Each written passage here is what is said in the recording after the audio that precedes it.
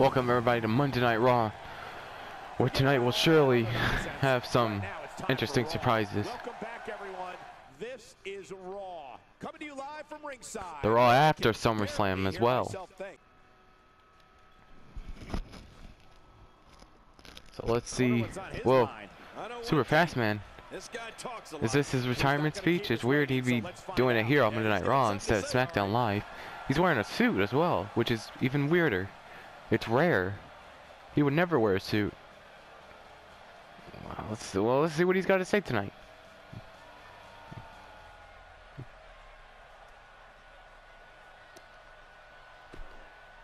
Just a bully. And on the seventh day, we were we were meant to rest, but darn, you think someone that looks this good rest? I am a god. I choose what happens on the seventh day. I choose what happens every day, because the entire week, this entire universe exists for me. And it's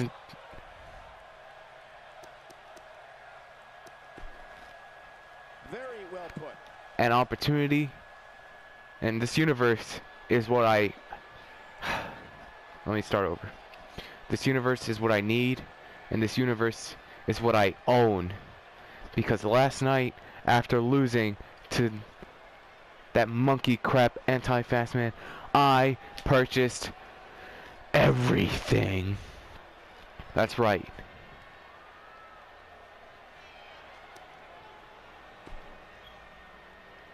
I am now the owner of the WWE Monday Night Raw, SmackDown Live, and NXT.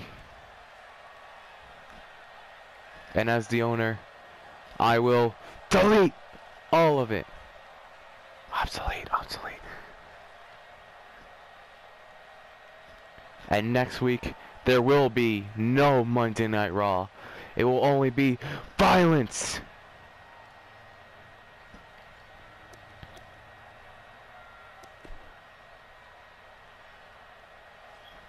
violence throughout all of the WWE.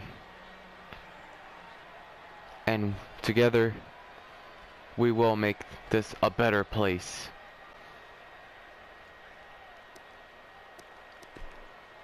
A fan favorite. I've said my piece. Now it's time to put those words into action. That about sums it up. Uh, I think I get it. Enough of the talk, though, folks. Let's do this.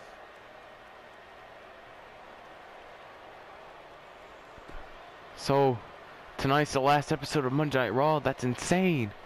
Someone has to stop this man.